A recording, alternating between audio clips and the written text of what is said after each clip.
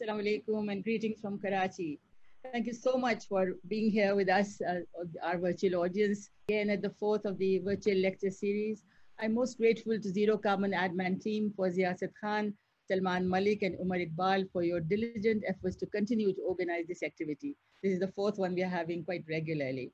I would like to welcome today's eminent panelists, Professor Pervez Vandal, as has been uh, said quite eloquently by Fozia, the pillar of our profession, and a distinguished academic who has taught and mentored generations of architects. He brings with him a vast knowledge of dealing with issues of culture and crafts, which he has pursued so forcefully with his wife and my friend, Professor Sajida Vandal, herself a great mentor. And then our amazing James Green, a young architect with a heart, with his passion for heritage conservation and excellence in the promotion of crafts. He is also a great favorite of mine, along with his fiancée, my friend Harriet Wenberg. I will forever be grateful for, for James' invaluable contribution when setting up the ateliers for green skills and crafts at the Zero Carbon campus at Makli. Thank you, Pervez and James, for your wonderful contributions to the INTBAU Pakistan November conference held at ZC3 at Makli, which made the discourse meaningful and rewarding. Thanks again for being with us here today. So while my last lecture was devoted to barefoot social architecture or BASA's focus on drawing sustenance from heritage and tradition for richness and depth, today I would like to share with you the two remaining tenets that underscore the value of training and knowledge sharing for fulfillment, for fulfilling unmet needs of the vast majority, as well as the role of non-engineered structures in shrinking the eco footprint. Throughout these discussions, my intent is to share with you my endeavors in fashioning strategies for healing the planet while serving the displaced and the marginalized. As you are aware, the utilization of sustainable green materials has been critical for my work, but really, it is the weaving of the tenets of social and ecological justice that lend authenticity and integrity to our conceptions. The materials are but the, the tools, it is the incorporation of compassion and humanism in our designs that endow them with lasting value. This is certainly true when designing humanitarian architecture, when the poor or the displaced are our clients. I do consider that when, when we work in humanitarian architecture, people are the ones who we're building for, they are our clients. But I believe equally true when we design for the affluent and the privileged. The values of empathy, consideration, and benevolence will be in great demand as we begin to deal with economic downturns in the aftermath of COVID-19. We know that even earlier, we expected shortfall in achieving SDGs or Sustainable Development Goals, there's 17 of them as you know, in which developing countries were in any case expected to lag behind. The scenario offers even a bleaker picture today. The ray of hope is that governments such as Pakistan may now be forced to make greater investments in buildings for the social sector and for provision of public good which will require humanism to be an integral part of architecture. And hopefully architects will you know, join that and, and begin working on that. So, um, oh, so now my, my slides are starting now. So let's see now. As you see, the title is um, Social Barefoot uh, Architecture is part three and four of it. And uh, uh, let's see. So um, So my offerings today are the con continuation of my journey as I struggled on the one hand to grasp the vagaries of climate change as Pakistan experienced one calamity after another, and on the other in the search for stratagems for bringing about social change with minimum funds. Some of you might remember my dictum, low cost, zero carbon and zero, zero, zero cost, which I have been talking about. And uh, uh, this calls for delivery of well-designed products by the impoverished for the use of the other poor what I tell them is that whatever they do, they don't have to worry about selling them to either the urbanites or to the privileged, but that this, these products are being made for others who are exactly in the same boat as they are. It was the award-winning Pakistan Chula stove that led the way. Now, this, the, the, person who's really uh, the one who made it happen is Champa. Here you see being given an award by the governor, uh, Sindh at the governor house. And uh, uh, this is the uh, Pakistan Chula Barefoot Entrepreneur or BE. I think this can run as a, as a video if, if it can, that would be nice because then you can see Champa talking about what she does. I don't know whether the sound is missing or, but anyhow, there she is. And uh, she's sitting in the house that she's made and the chula that she has made. And uh, she's talking about how uh, in 2017, by that time, she'd earned about 28 lakhs of rupees. She had a motorbike and she had, uh, you know, she got her house and she got her children married and she had lots of jewelry. And then by 2019, her earnings had come gone up to about 60 lakhs. And that's about 125,000 rupees per month that she was able to earn by serving poor rural housewives with a life-changing low-cost product that was the chula. The Champa model validated the adage of social entrepreneur guru, the founder of Ashoka, Bill Drayton, and I quote, social entrepreneurs are not content just to give a fish, but teach how to fish. They will not rest until they have revolutionized the fishing industry, unquote. In the case of over 60,000 Pakistan Chula stoves that have been built to date, while we had provided rigorous training and marketing strategies to our bees, that's the barefoot entrepreneurs, it was the creation of an eminently desirable product which provided women with dignity and respect within their highly conservative societies that they lived in. Now, like others of my generation at college, I'd hardly been taught any other subjects except the fundamentals required for the practice of architectural profession. So where I have economists in my family, my daughter Raina did her master's at Chicago Business School, and my husband Sohail read modern Greats at Oxford. Sadly, my own college education was highly deficient as far as the study of liberal arts was concerned. So it was only a few years ago, while trying to understand the nexus of poverty and inequality, that I stumbled across two figures whose writings resonated with my own sentiments. One was the French economist Thomas Piketty, the author of the bestseller Capital in 21st Century, and his findings that today's soaring inequalities are an outcome of the present world order and accumulation of wealth by only 1%.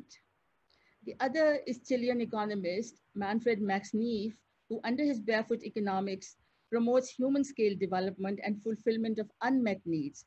His list of multiple poverties include, as you can see, the whole list, poverty of subsistence, of protection, of affection, of uh, you know, understanding, of participation, and of identity. So there are lots of poverties that so many people in the world actually suffer from.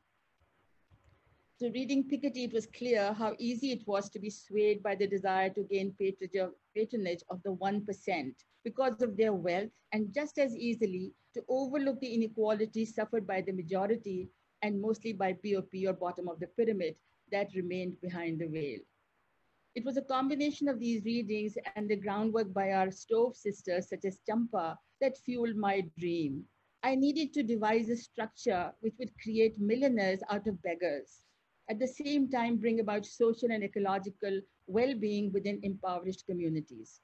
To achieve my dream, I would have to foster a, a host of barefoot enterprises and an army of barefoot entrepreneurs, which would target untapped markets within the barefoot ecosystem, aiming at the gaps that exist in public services due to corruption and poor governance in countries such as ours.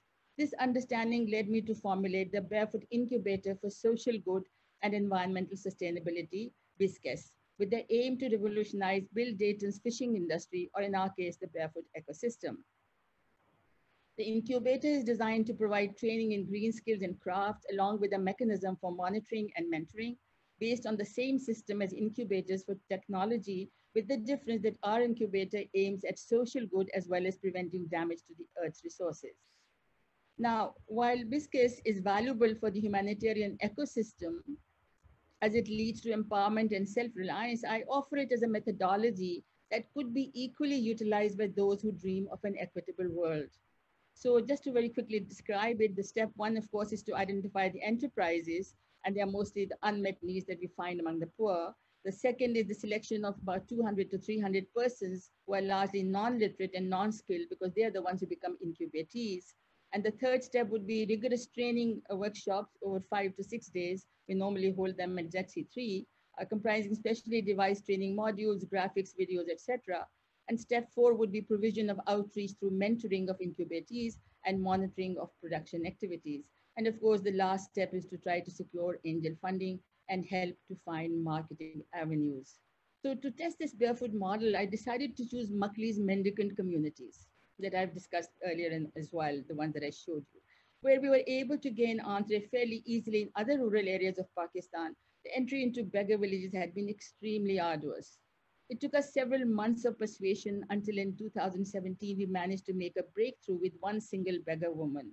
Karima joined us to fabricate miniature glazed tiles and market them from where she used to beg. By the end of 2018, we had gained considerable credibility by investing into rights-based development for 500 families carried out on a participatory basis. It costs us only rupees 25,000 per family to provide structure for a safe room, water and eco bathrooms on sharing basis, and lime for making Pakistan chula. The experiment had given rich dividends through co-building and co-creation because it was always on a participatory basis. They also had to contribute which transformed their own environment and brought purpose in the lives of our mendicants. Now for this purpose, as I mentioned, the zero carbon campus was available for use for incubator training, which you see on the left, uh, you see the map and the, the middle uh, drawing shows uh, where the ZC3 is. Uh, it was, which is eminently suitable for lectures and assemblies. Now, this had been built close to Makli villages to provide trainings for artisans as well as for holding cultural events and conferences. Now, uh, ZC3 had been designed as a venue to help bridge uh, the divide between the impoverished and the privileged. You can see in this slide of ZC3, the top are craft pavilions on the left, uh, mostly used by women, while the bottom picture shows delegates of, at the Heritage International Conference held in 2018. The slides on the top show university students attending zero carbon workshops, and the images below are of trainings for barefoot and, uh, enterprises from Makli villages. I just wanted to show you the setting where all this is going on. So uh, from 2000, January 2019, a project titled Green Skills and Crafts for Livelihoods was conducted with support from British Council DICE program in University of Glasgow. In addition to rigorous training, it provided mentoring and monitoring for 12 months in eight villages, specializing in diverse green enterprises. The incubatees were drawn from among the most enthusiastic beggar communities consisting of over 50% women and 21% suffering from various disabilities. And specially designed workplaces were built in each village. As you can see, um, village one village is only construction techniques, which are you know really mud and lime and bamboo uh, products, and village two is chula. Number three has mother, uh, mother earth products, while number four has bamboo. Uh, village five uh, deals with kashi and terracotta six number is barefoot hospitality program for for really the spiritual tourism that goes on in Makli. And then village seven and eight are food security. So each village actually specializes uh, in, in, in one kind of products. Now, uh, the next slide will show that the graphic representation of various activities when at work in different villages. It's a little bit, yeah, there it is. Uh, it's just a sample for you so you can see the portraits of all trainees from each village uh, and as I said, there are 230 of them which were rigorously provided with all kinds of help and assistance and training. And they've been the most wonderful uh, uh, learners from the point of view of, of enthusiasm and, and wanting to go ahead. Uh, and this kind of belies any kind of uh, uh, you know ideas you might have about beggars. They are all ready to take on work which will give them dignity. So then the next slide will show you how the slide, uh, the products are made um, as, as, samples. Um, if we can go to the next one, um, you can see um, on the left, uh, they're making these prefabricated uh, or pre, uh, prefab panels of straw, which are then very easily put on roofs and the brick making and also the lime brick making and so on. And another slide will show you that the Mother Earth products and how they are being, being produced the idea was to show you the kind of work that's going on and how it is possible to train people in very simple things which can be really beneficial to them. For instance, if there's Mother Earth products like the organic soap, then it's very inexpensive and you know people can actually you know wash hands uh, rather than trying to say that they should buy uh, you know more famous brands. So um, uh, then there's another slide which will show you that the kind of products that have been made by each village. Uh, uh, this is a kind of a, if you like, a catalog of, of uh, the products. So you can see the construction village has earth, lime, brick, and thatch panels. Chula village is chula making and so on. So each village, as I said, specializes in one kind of product. And the last two are to do with food security. And I have to say that many of them are doing extremely well, even uh, within the lockdown situation. So when surveys were conducted just before the lockdown, we found that 70% of the original 230 had risen above the poverty line. And my latest news is that even during lockdown, something like 90 of these people are actually able to earn something like between 6,000 to about 12,000 rupees per month in spite of the lockdown because everything is being produced locally within the villages and they are also marketing it, it uh, locally. So that is, that's good news from the point of view of, of my barefoot model.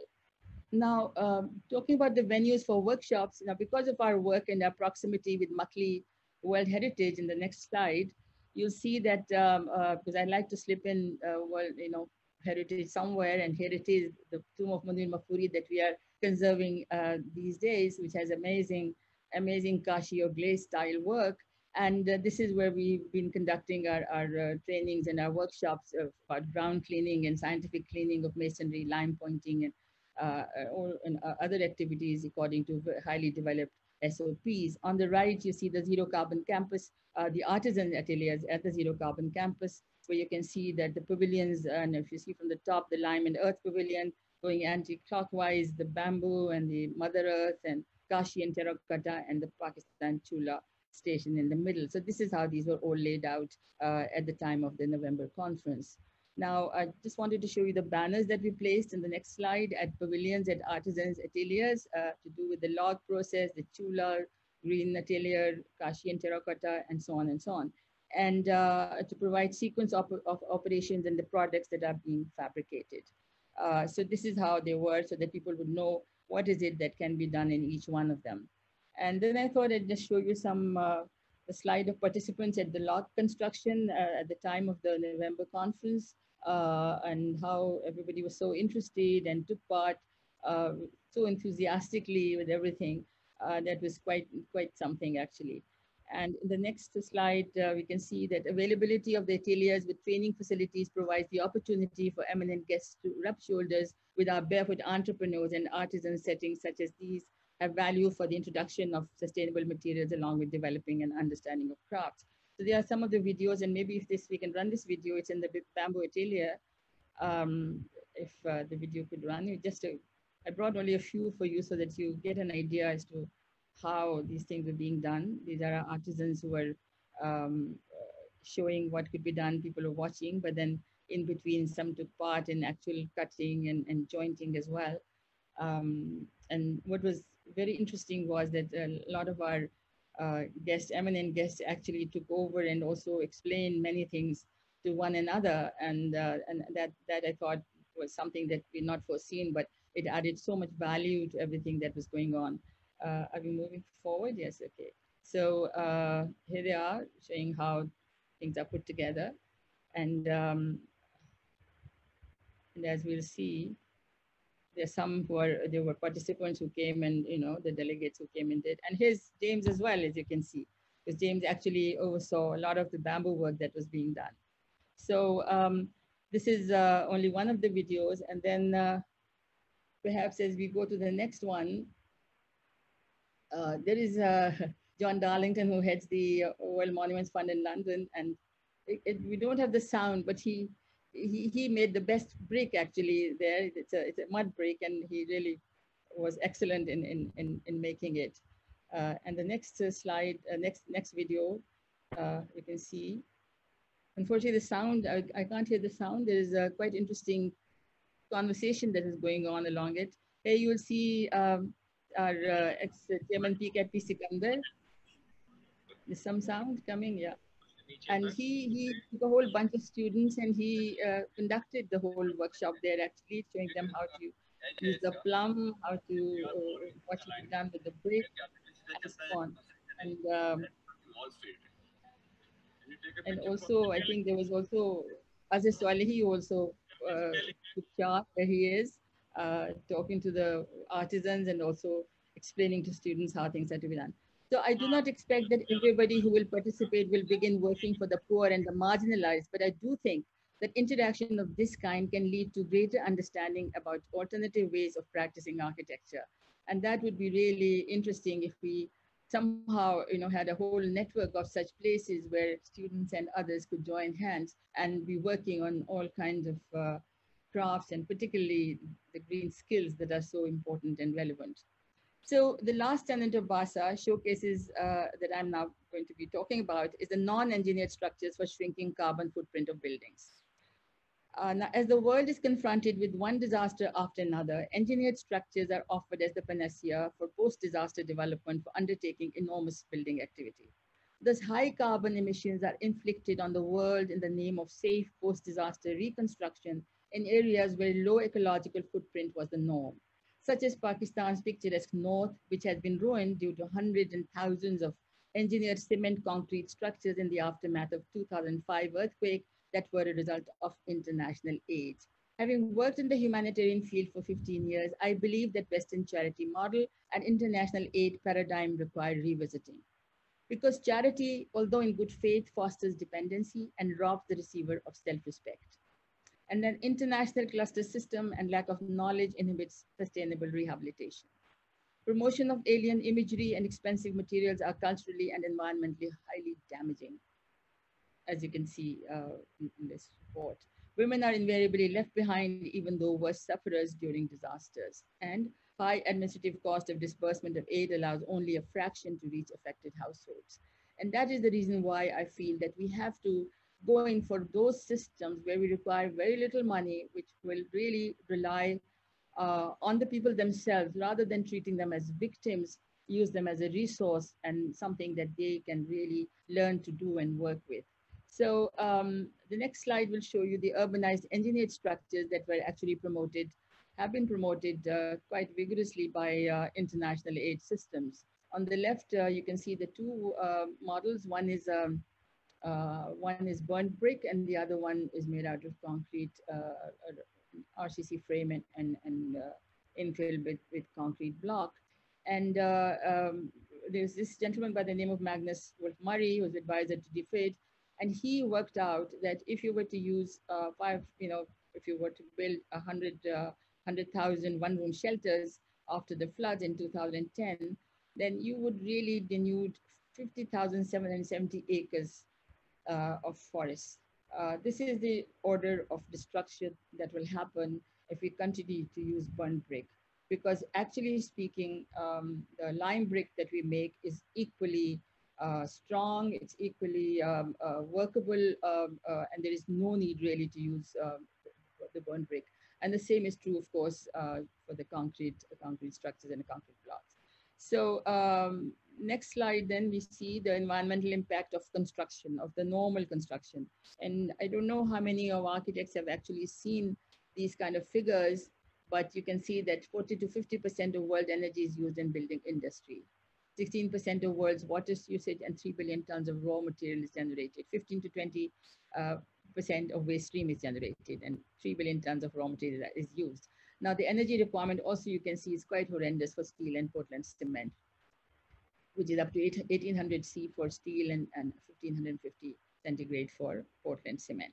So um, then I thought I'll show you, um, uh, of course I've shown them earlier as well, but this particular model which does not require any of uh, that kind of energy consumption. Uh, costs only about 20,000 to 25,000 rupees per unit and uh, um, became the world's largest zero carbon footprint program uh, in the world. Uh, we did it, as you know, as partnership with IOM and there were no carbon emissions, there were no trees felled, 1,750 villages were, were covered, 300,000 persons were housed and what we used was only locally sourced clay, low energy lime and renewable bamboo. So I just wanted to show you this as a contrast.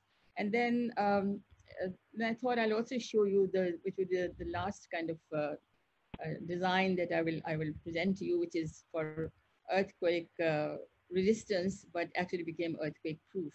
So uh, for, for those who might be interested in working in disaster areas, uh, for, for um, making buildings um, you know, seismic resistant, we have to follow certain principles, which is that everything should be tied together. That's the one basic principle. But when you're using mud, then again, uh, we had to use bamboo lattice to increase much low material ductility and low compressive strength to prevent collapse. So that's been used. And connectivity of walls has to be assured through use of corner L-shaped bamboo lattices that we'll show you again in, a, in an animation that I have. And the use of bamboo reinforced lime concrete ring beams and anchoring roof elements into masonry walls. So this is basically the, the basic principles under which we design such buildings. In the next one, you can see the sequence of insertion of bamboo lattice, uh, which is actually an animation. Uh, if we can just work on that. Of course, you make the foundation as you usually do uh, with also uh, lime concrete, and you start building in this bamboo lattice at, at, at so many courses uh, all through throughout the wall construction. And the, the, you, you again, uh, you have the uh, bamboo reinforced lime concrete ring beam, and then uh, again, on top of it, you, you have your roof structure, but before that, you also put these bamboo lattices on the inside and outside, which are carefully all tied together. The slide shows the sequence of insertion of bamboo lattice within earth masonry and tying of it. And the, this particular structure was first designed for, our, for Awaran earthquake in 2013. And I'm grateful to our distinguished civil engineer, Amin Tariq, whose help was crucial in early days in developing non-engineered structures, along with implementation of our team of artisans led by project manager Nahim Shah, supported by our architects at Karachi. And then um, I'll show you the shaking table test, uh, but first the protocol for the shaking, table test.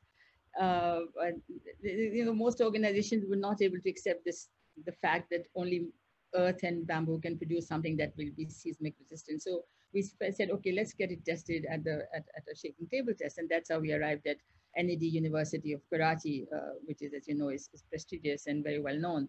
So it was conducted there and uh, the model was scaled down to 50% of actual size. It was subjected sequentially to ground motions uh, corresponding to Kobe earthquake of 7.3 Richter scale. Levels first applied was 25%, 50, 75, and 100%, but there was no damage. Then from 125 onwards to 275% without appreciable damage, even when 175% over and above Kobe earthquake. And then subjected to extremely high acceleration history of up to 670% in an attempt to make the model collapse. The walls were damaged, but collapse did not occur, indicating life safety performance under any eventuality. And uh, this would be my last slide, which is the shaking table test. If maybe we can just run that. Uh, and maybe if you can have some sound with it, that might be nice also actually. So you can see 100%. Is it too, is it too high? So uh, and you can see, uh, I think the sound might just, it, it, adds a little bit drama to the things. It's probably quite nice if we can have it. But now we're going up beyond 100%. This is not 275%. And you can see that um, it's, a, it's really, you know, it's moving uh, together, but it's not collapsing. And then Mr. Sarosh Lodhi, the engineer, the vice chancellor, uh, he was present and he said, we've got to, we've got to break it somehow. We can't, you know, have it not collapsing. And so that's how it went to 670% and, until they found that the movement was so much that their reinforced concrete buildings might begin to uh, suffer damage. So uh, they had to stop at 670%. And this is what you see after 670%, that there was no uh, collapse of the walls. So um, uh, you can see that uh, there could be no, um, uh, no casualties. And that's what's important for buildings it's, it's not, as they say, it's not the earthquakes that kill people, it's the building, the structures that kill people. So we have to devise structures that will be safe for everybody to live in whenever we know what kind of a disaster we might be uh, coming through. So now these offerings are in the way of drawing attention to the fundamental role of design and the need for architects to be in the forefront of innovations for lowering the carbon footprint. You might need prolific inventiveness to respond, I hope with excitement and creative imagination to issues and challenges that we will all be confronted with once we wake up from this lockdown. In the next lecture on the 13th, we will discuss another avenue that is wide open for architects, and that will be heritage and, uh, and um, in, the, in the aftermath of COVID-19. And the last lecture, uh, which will be on the 20th, is planned to discuss the pointers towards architecture and urbanism in post-COVID-19 world. So what was it that Vincent van Gogh said? I dream my painting and I paint my dream. Thank you so much for your patience.